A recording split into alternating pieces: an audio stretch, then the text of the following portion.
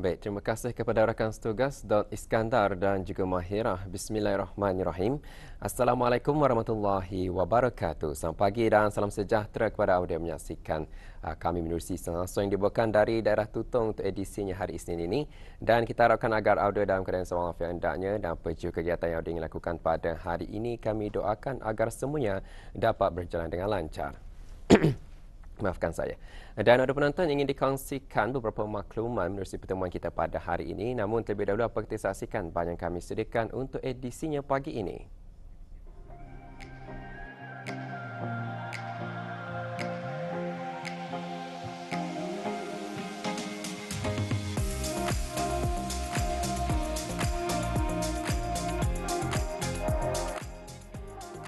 pengalaman menanam padi kebiasaannya diperolehi daripada keluarga yang menjadikan sawah padi ini sebagai sumber pendapatan. Oleh itu, mereka mempunyai kemahiran berpadi ini secara warisan. Apa yang menjadi keterujaan kepada petani adalah mendapatkan hasil yang baik untuk dituai. Setelah melalui pelbagai peringkat penanaman sehingga padi masak, Selalunya, masyarakat yang mengolah padi secara tempatan ini menggunakan kaedah konvensional atau tradisional.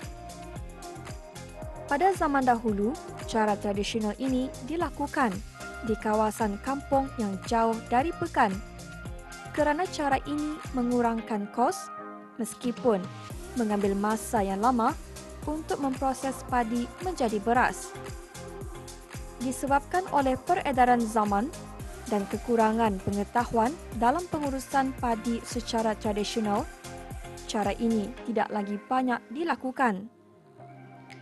Jadi apa yang ingin dikupas dengan lebih lanjut hari ini adalah mengenai kaedah proses padi secara tradisional untuk memberikan pengetahuan mengenai proses pengolahan padi orang dahulu kala.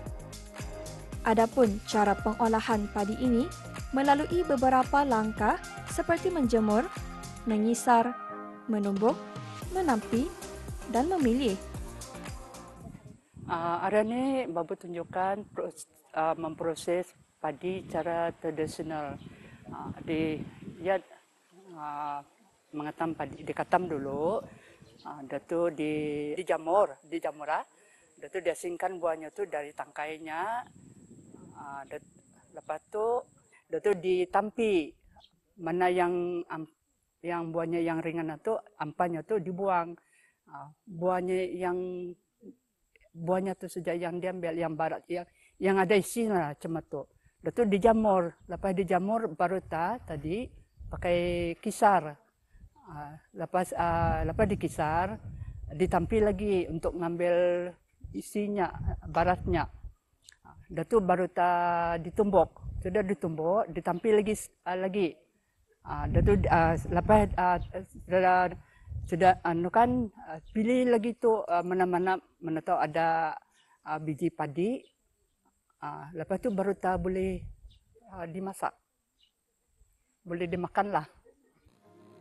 Di setiap langkah dan juga proses pengolahan padi ini, proses menjemur adalah penting untuk memastikan padi cepat kering, matang dan untuk mengelakkannya daripada hancur apabila dikisar dan ditumbuk. Setelah proses menjemur, proses mengisar dilakukan dengan menggunakan pengisar padi yang diperbuat daripada kayu.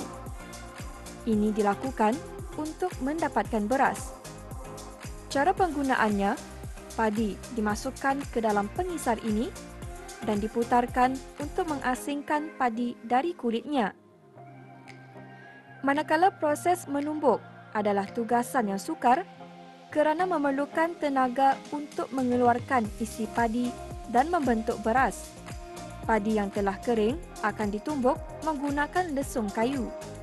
Di mana semakin berat anak lesung, semakin baik tumbukan lesung tersebut langkah ini akan dilakukan sehingga selesai. Setelah itu, padi yang telah ditumbuk akan dimasukkan ke dalam alat menampi. alat menampi diperbuat daripada anyaman buluh atau mengkuang. Pada proses ini, beras dapat dihasilkan walaupun terdapat habuk-habuk kecil yang masih bercampur dengan padi. Kemudian beras yang telah ditampi akan menjalani proses pemilihan. Padi yang tidak hancur akan diasingkan daripada padi yang hancur. Pemilihan akan dilakukan dengan menggunakan tangan. Oleh itu, mereka perlu cekap untuk memilih padi yang belum menjadi beras. Uh, peralatan itu uh, yang kena bagi saudara-saudara babu yang yang pernah uh, berpadi masa ni diorang ada padi lagi. Jadi diorang bagi arah babu macam uyud dato uh, macam tikideng itu tadi babu Bali ada orang berjual macam tu macam ani ani anu anu uh, yang uh, lisong lisongnya ataupun uh, atau babu Bali yang uh, yang anunya uh, kisarnya tadi itu uh, itu pun kena bagi juga uh, alunya pun kena bagi. Uh, masa ni payah. Eh, kisar dia paling payah kisar uh, pengisannya lah. Macam lisongan ni masa ni uh, ada ada orang membuat juga tapi jarang-jarang jarang-jarang macam tu. Pasanya masa ni mana uh, orang dah menggunakannya lagi. Pasal, banyak uh, anu uh, cara tradisional ni banyak uh, banyak prosesnya bah ngikut uh, lambat lama lagi kan tu kalau cuacanya uh, kalau cuacanya hujan-hujan saja tidak dapat dijamur. Uh, kalau ya macam macam ni tadi kan uh, boleh uh, boleh uh, tu boleh dijamur tapi mesti uh, yang uh, kita ni sebelum menumbuhkan mengisarkan mesti dijamur dalam dua hari lah macam tu. Kalau, tapi kalau cuacanya panas terus sehari pun cukup.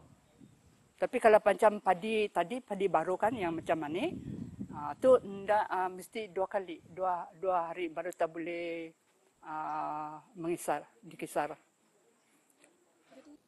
Dari pengalaman Babu Rasini, mendapati tata cara tradisional dapat mengekalkan kualiti dan juga tekstur biji padi menjadi lebih baik.